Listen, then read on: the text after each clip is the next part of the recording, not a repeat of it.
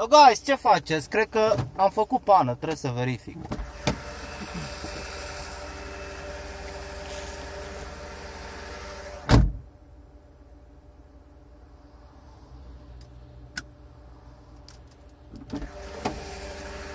Nu se pare că m-am înșelat.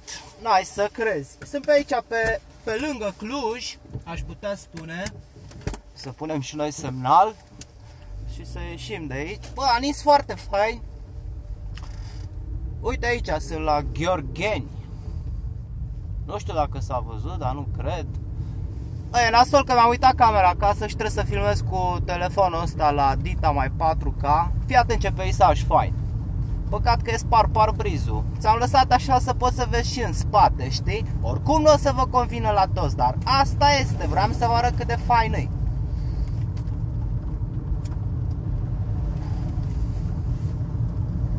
A nins bine la Cluj. A trebuit să merg până în Gheorgheni aici la un, la un potențial client. O să vedem dacă, dacă se concretizează. Ideea este că ieșind foarte mult pe teren am început să, să înțeleg cam cu ce se papă chestia asta care trebuie să o fac eu așa zisa vânzare Hai să mergem mai încetus, că deja avem 63 de km la oră. Ce face asta aici? E unul prin pădure pe acolo. Bă, foarte faină zona asta. E super, super. Opa, poca. Uite acolo, deci, aleluia, aleluia. Mergem înainte încolo spre Borhanci. Încetus cu treabă bună. Opa! Deci, reghi, n-ai să crezi. București, Turda. Nu mă duc la București, mă duc la Cluj. E fain și pe aici, pe centura asta lui, a lui Boc. Bă, într-adevăr, trebuie făcute drumuri, e musai E musai să se facă drumuri. Bă, e foarte nasol, având în vedere că vii din Franța, Olanda, Germania, Spania, de unde vii, treci de Ungaria și când intri în România, servus. Și îți dai seama, lumea se grăbește, în, no, a condus 2000 de kilometri pe autostradă, vine în România, face până la Cluj 3 ore, în care în 7 ore treci Germania, recu, 6, depinde cât conduci. O fi atent ce peisaj fain. Bă, trebuie să-ți arăt asta, mă, că tu n-ai văzut. Bă, fii atent cât de fain e.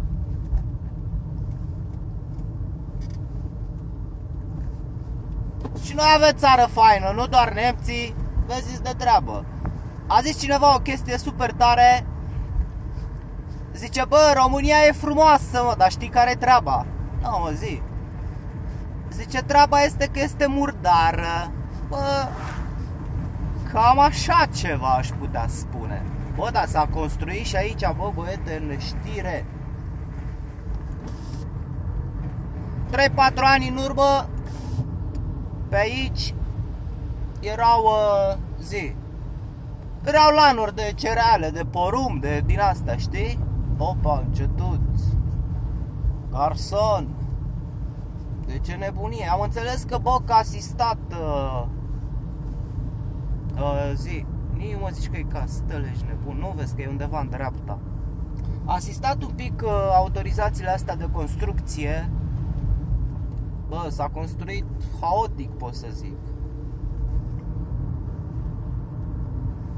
Ai văzut că, no, pentru cei care merg pe afară și asta, în orice cătun, frate, din Franța, din Belgia, de unde vrei tu, ai minim, minim, minim 5 ieșiri, frate. 5 intrări, 5 ieșiri.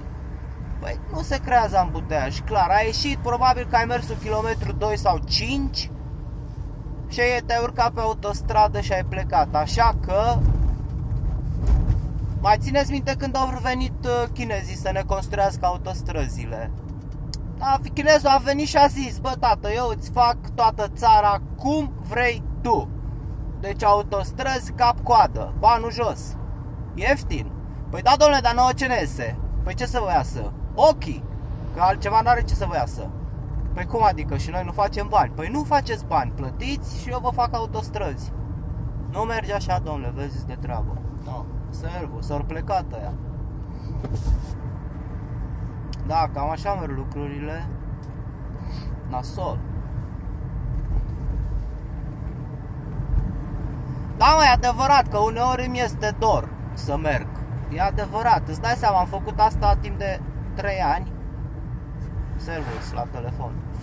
Uh, am făcut asta timp de 3 ani de zile și e clar că îmi lipsește. Vezi, câteva luni de când m-am oprit.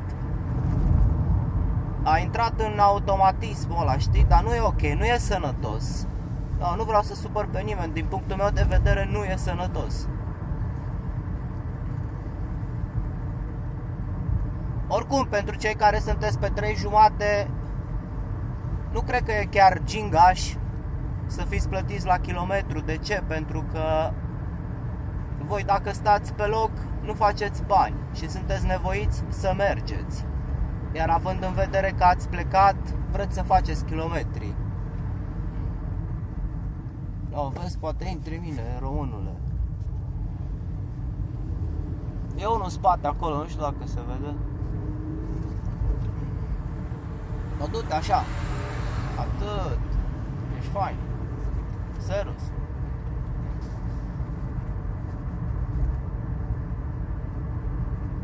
Da, nu e ok să fii plătit la kilometru pentru că ești nevoit să alergi. Patronul știe asta. Bă, s-a dus, îi trebuie bani, trebuie să alerge. Și te rupe în două. Eu ți-am mai zis foarte bine despre ce e vorba cu trei jumatele. Fie că ești pe tur retur, fie că ești pe comunitate. Ce este important pentru tine este important, în primul rând, să ai vizibilitate pe parbriz. Să vezi prin ecran. Bun. Deci ce e prioritar pentru tine este să te hrănești la timp și sănătos, cât mai sănătos, ia-ți fructe cu tine. Acum iarna îți poți ține hrana liniștit în spate, afară. Să bei apă, să te hidratezi, nu bea Red Bull. Ce dracu face ăsta? Nu bea Red Bull, nu bea cola. Nu bea din asta, nu e ok. Bea o cafea, două, cinci, cum beau eu, sau cum beam eu. Și iarăși este foarte important să ai grijă de tine. Nu uita, mai ales dacă pleci pe comunitate, să-ți iei cardul ăla de sănătate european. Deci nu ăla de plastic care l-ai de la doctorul de familie, ăla european, îți trebuie. Da, deci ia o butelie cu tine, ia-ți conserve, nu mânca hrana dacă e stricată sau simți că e ceva în neregulă. De ce? Bă, banal, te taie la burtă, frate, îți dai seama ce înseamnă să oprești tu așa încetuți la 5 km să te pui pe vine. Nu e chiar fain, știi? Dormi, eu în 24 de ore dormeam cel puțin 6, 8, deci cel puțin 6 ore. Eu când mă opream să dor, trebuia să dor 6 ore. De ce? Pot să conduc și după 2 ore și după 3 ore de somn, dar nu e ok pentru mine, pentru că o să conduc o bucată mică de drum și iar îmi este somn și nu mă simt foarte bine. Așa că 6 ore sleep. Îmi puneam 14 alarme să fiu sigur că mă voi trezi și asta e 6 ore de somn. Da, deci reluăm cardul ăla de sănătate, actele trebuie, contractul de muncă, foile alea de somn pe Germania, mâncare, să nu se strice, ai grijă cu ea, ia-ți o butelie să-ți gătești. Dacă te uiți la clipurile mele o să vezi cum îmi găteam eu. Vreau să fac stânga, stai să mă concentrez că nu sunt femeie și nu pot să fac multe lucruri deodată. Și acum am făcut-o, pac, și la filmează, are cameră pe bord. Ai grijă unde parchezi, e foarte important. Dacă ești la prelată Îți stai ăștia prelata da, nu parca între camioane, nu parca pe locuri pentru camioane, parchează la turisme, nu parca pe locuri pe locurile celor cu handicap. E foarte important pentru că o să-ți găsești mașina blocată sau riști să te ia pe sus aia în toiul nopții. Da, deci parchează tot timpul la vedere să fie cameră în benzinărie, unde te duci, habar n-am. Dacă trebuie să descarci până sate pe undeva. Da, îți dau exemplu Franța, că am mers foarte mult în Franța. pune-te în fața unei case. Cei care vor trece pe acolo vor, uh, vor crede că vei descărca la cel care ești la poartă acolo, știi? No, ce să zic, ai grijă de tine. E important să ai grijă de tine pentru că nimănui nu-i pasă de tine decât ți ar trebui să spese de tine. Nu vine nimeni, nu vine. Oh, guys, cam asta am vrut să vă spun așa în linii mari. Voi dacă vreți să vedeți mai multe, puteți să vă uitați la clipurile mele. Eu am ales să fac asta pentru că la început când am plecat nu am găsit de unde să mă informez absolut deloc. Și am zis, bă, dacă nu a făcut nimeni, cineva trebuie să facă. Face Valentin, nu-i bai. Înțelegi ce zic? Înțelegi. Prima oară când am fost în cursă mi-a luat 5 zile să ajung în Franța, ești nebun, am zis că sunt la capătul pământului. M-am oprit în, uh, în Ungaria să-mi iau vinietă pentru Cehia. Îți dai seama că la de la Peco s-a uitat la mine și a zis mai dai bătaie înainte. Bine vrei. Da, deci se întâmplă. Ideea e să nu intri în panică. O mai ia GPS-ul razna câteodată. Nu te panica. E ok. Liniștit, le rezolvi pe toate. Hai bă, stânga, dreapta, n-ai să crezi, ți-ai luat Audi. A, dar e femeie, nu e om la volan. No offense. Vă salut, pusipa.